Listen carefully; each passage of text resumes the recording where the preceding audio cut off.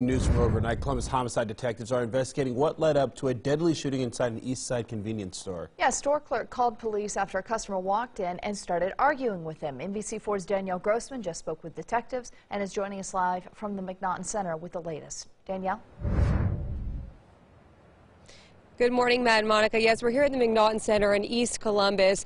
There was an altercation and a shooting just a few hours ago. One person was pronounced dead around a little after 1 a.m. Now, what happened, according to CPD, is a customer walked into this outlet Smoke Shop Plus earlier this morning. They walked in. Apparently, this is a customer that they know of very well. They got into a little verbal argument with the one person who was on duty.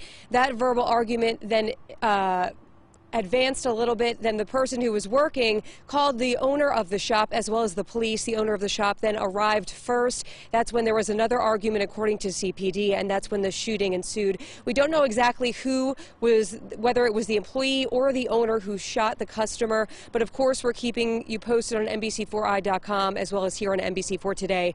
And we're going to talk to detectives on scene. Clearly, the crime scene search unit is still on scene. It's been a few hours, and they're still looking into what happened, what caused, and um, the cause of this in the first place. And of course, we'll keep you posted here on NBC4 today. Local for in Columbus, Danielle Grossman, NBC4.